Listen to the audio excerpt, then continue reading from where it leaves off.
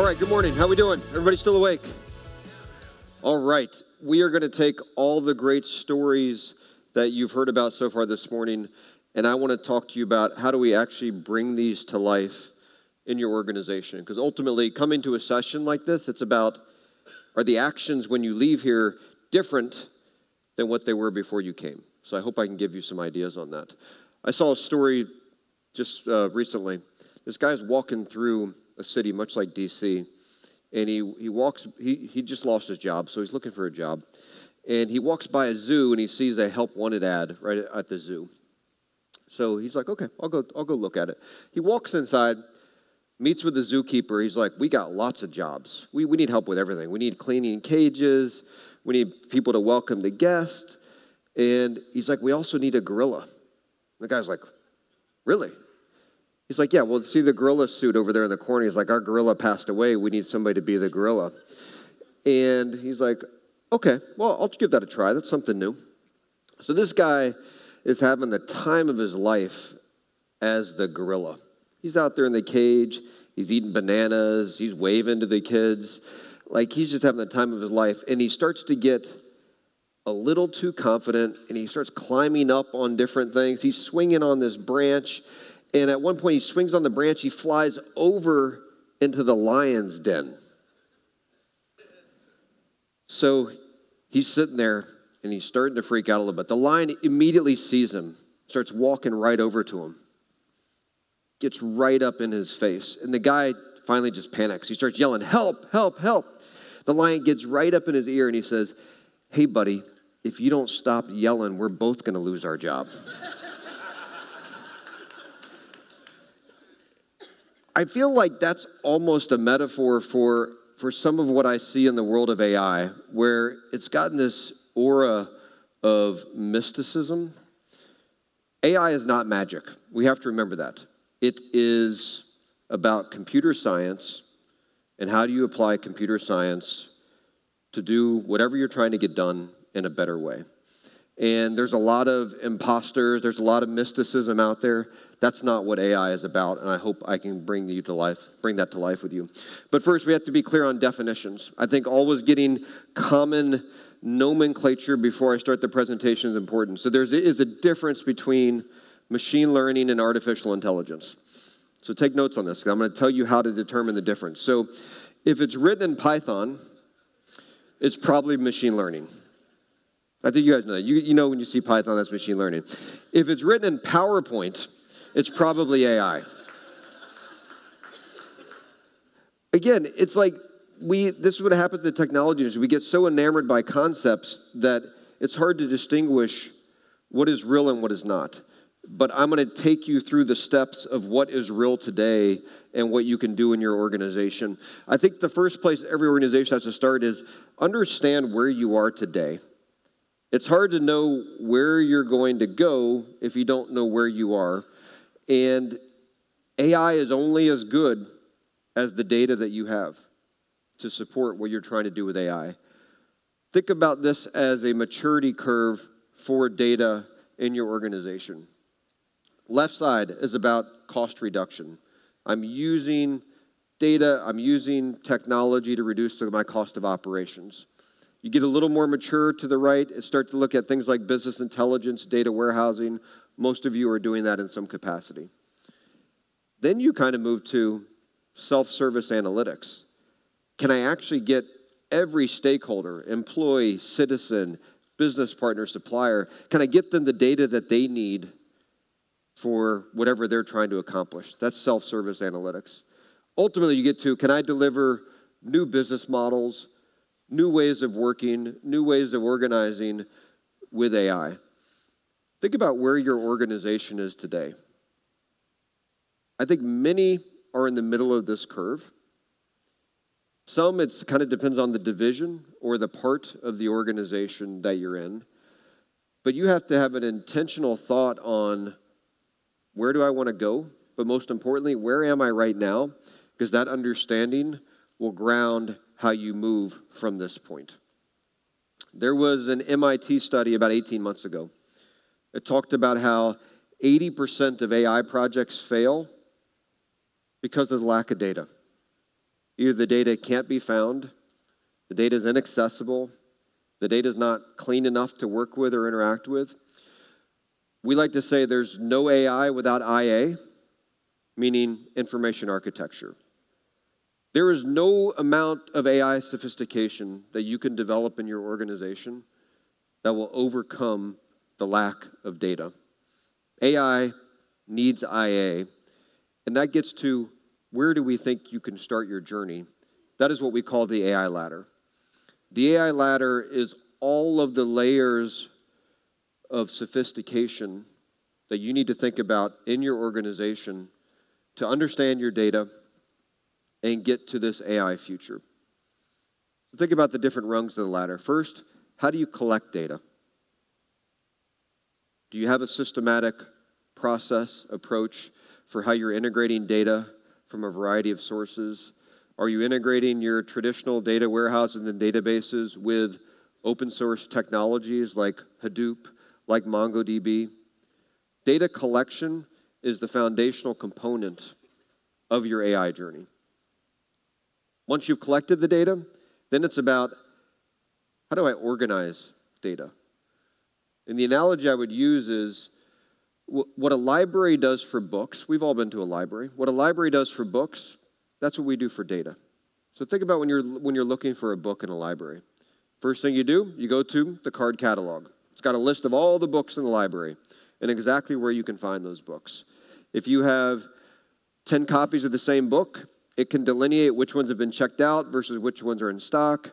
Maybe some have been archived into microfilm. When I talk about data organization, it's really just the card catalog for all your data, whether it's on premise, in a private cloud, in a variety of different public clouds. You have to have this understanding of how your data is organized once you've collected it. From there, we go to analyze. So, how do I start to visualize, analyze, do predictive analytics? Now that I understand my data, I can start to put it into action through data analysis.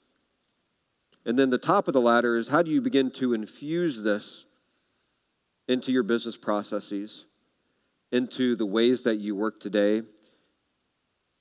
AI is not something that happens on the side. It is something that is foundational to how you run your business. So it becomes about how do I infuse AI into my business processes, into the ways that I'm working today. And the direction that we see the industry going is how do you build all of these components of the AI ladder, but do it in a cloud native way, which means microservices on containers. Because what that gives you is portability. So you can take your on premise workloads, deploy them in a cloud native architecture. That means they can run wherever you want them to run at any time. So, what are we doing at IBM around data and AI? I talked about foundational data pieces, working from the bottom up here. We have delivered a cloud native architecture that is IBM Cloud Private for data. That is the data microservices that run on any cloud that you want. I talked about the foundational components of the ladder. Now let's kind of break down AI and what that is. I think AI is actually very simple when you break it down to its elements. First, we provide tools if you want to build your own AI. So think of it as a, a toolkit if your organization has decided we want to build our own AI that's specific to our organization. It's how you build AI models, how you run AI models, how you manage the life cycle of your AI models, how you explain the answers that you're getting, how you understand if there's bias in your models. It's very simple. It's build, run, manage. Those are the tools that you need to build your own AI. We have Watson Studio, we have Watson Machine Learning, Watson OpenScale, the key capabilities for the toolkit to build your own AI. Now, we've worked with thousands of organizations around the world. Sri shared many of those as he was going through his presentation. We've started to see some common patterns, and we said, hey, we could make this really easy by building applications that would enable any organization to implement AI in a very easy manner. The first thing that we attacked customer service. Every entity, every organization is trying to serve people outside of their walls. So we built Watson Assistant, which is AI for customer service, automating 50% plus of the interactions and doing that in a very elegant way. Watson Discovery for data discovery. So every organization that's trying to understand their data, the first piece becomes how do I discover all of my the intelligence that exists inside the organization. We've got Watson Health, applications designed for providing better health care. But again, the idea is very simple it's tools to build your own AI, and it's applications where we've built the AI for you that solve known business problems. It's about you figuring out where do you want to start on that journey. I think every organization is going to do both. Every organization is going to have to build some AI of their own, and they're also going to want some applications that makes it really easy to put those into work. One example from the industrial sector is Boeing. And Boeing is an organization I think that probably looks like many of you to some extent. Has a long heritage, been around for a long time. Many systems collecting a lot of different data. They have a lot of interest in starting to aggressively incorporate open source into what they're doing. They have adopted our cloud private for data, our data microservice architecture, to enable their entire data and application platform on containers. And they've gone from a thing where it took, you know, six to nine months to launch a new initiative down to days and weeks, because that's the benefit of getting to a cloud native architecture. And they haven't had to give up anything that they wanted to do from an open source perspective, because we've designed our data microservices and container platform to work with the best of the open source world. Little known fact 85% of the work that happens inside of Watson today, the tool that I described, is open source. It's Python, it's R, it's Scala, it's Java, it's TensorFlow, it's Caffe, it's Theano, it's Torch. It's all the open source languages and frameworks of the world. Watson makes those much better it makes it a lot easier to put those into production. But it's not about open source or not. Open source is the lingua franca of data and AI, and you can see that in the type of work that we've done with Boeing. Recently, we announced that we've made Watson available anywhere. And this is really a reflection of the strategy I described around building on containers to provide portability.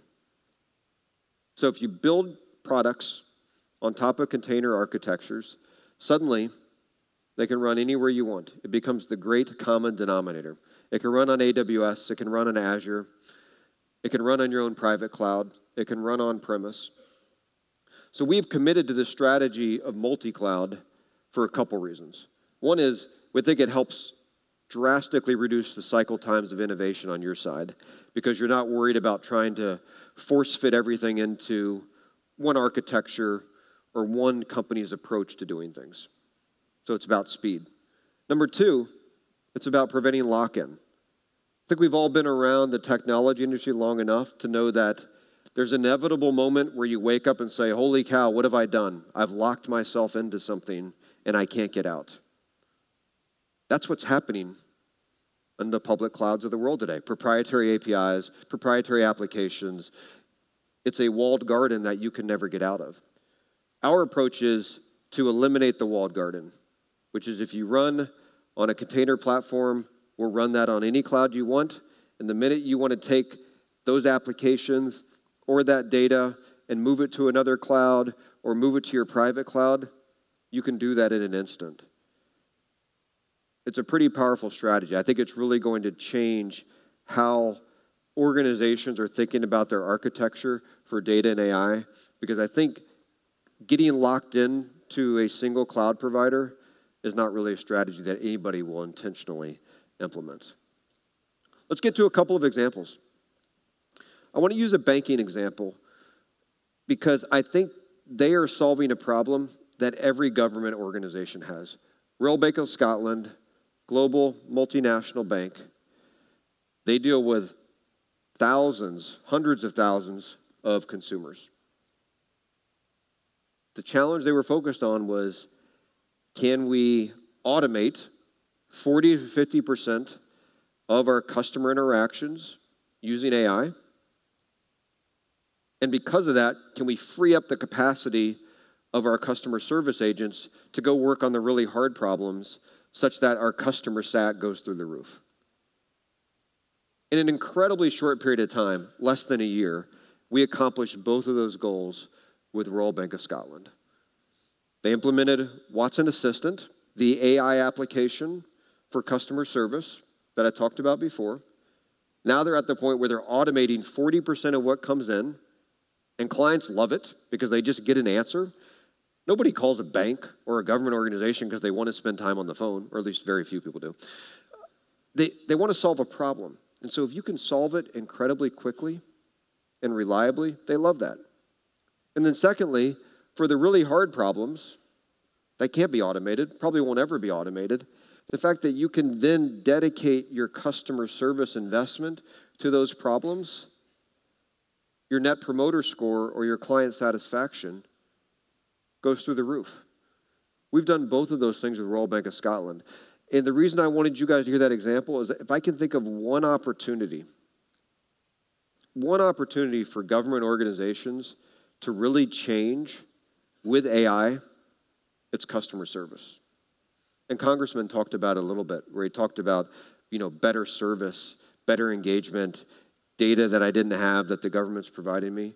It's an incredible opportunity for all of you to think about for your organizations.